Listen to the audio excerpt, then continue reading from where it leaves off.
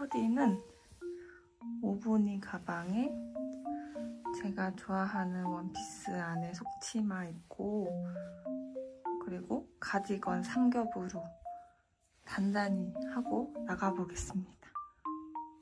이건 엄마가 주신 목걸이에요.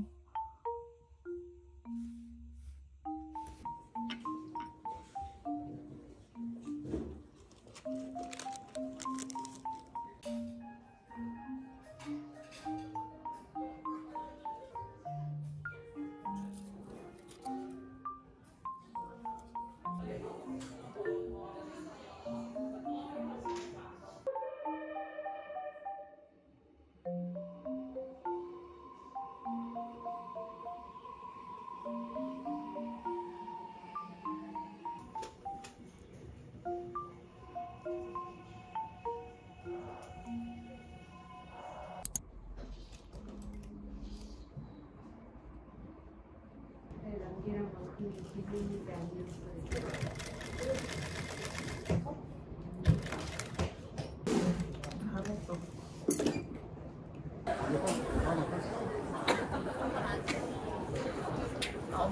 너가 사고 싶은 거야?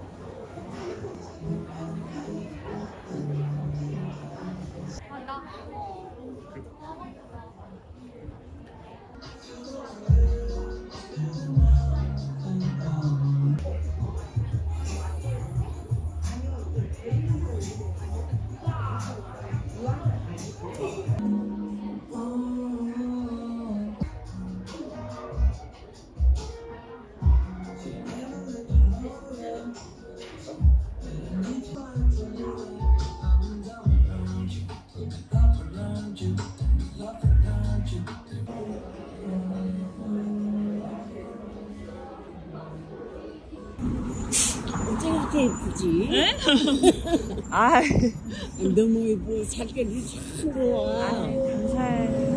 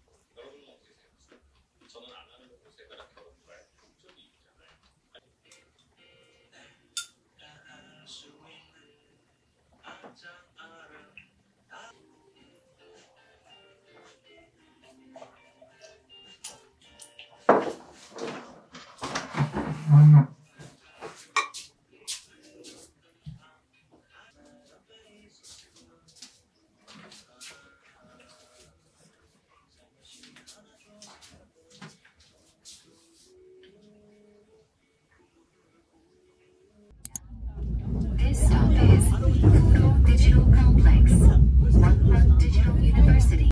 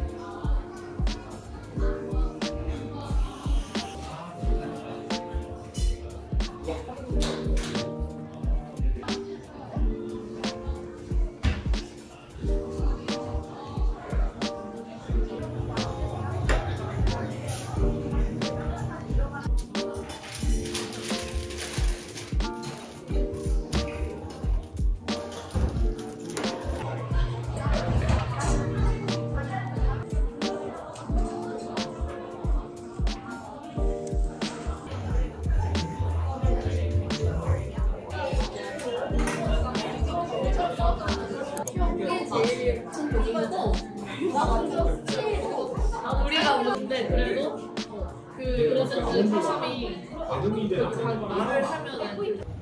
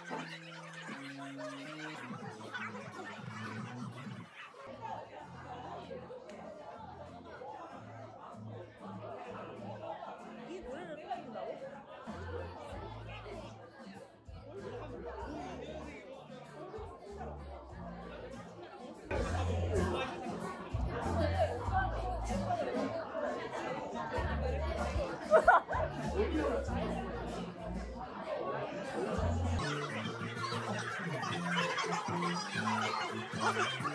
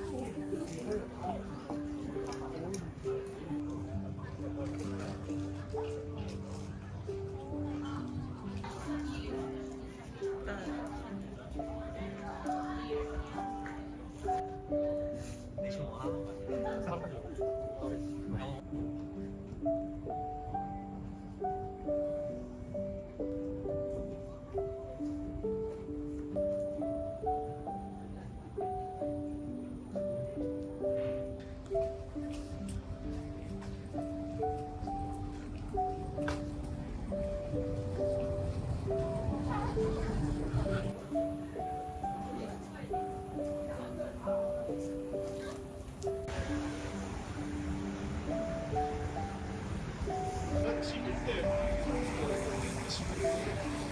you.